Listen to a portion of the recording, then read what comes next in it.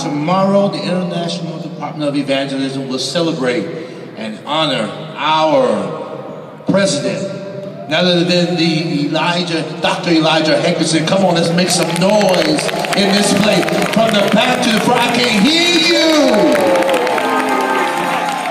Tomorrow is President's Day. So we gotta make ourselves a committee of one.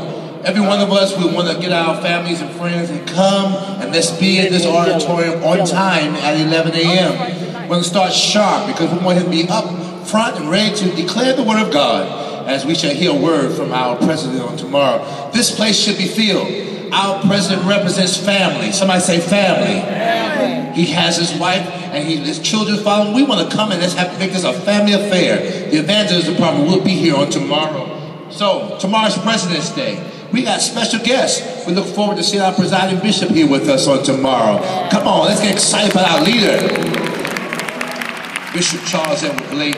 Our special guest, music guest tomorrow will be none other than that assistant elect lady, Amen, Evangelist Dorinda Clark Cole. Come on, give it up, come on.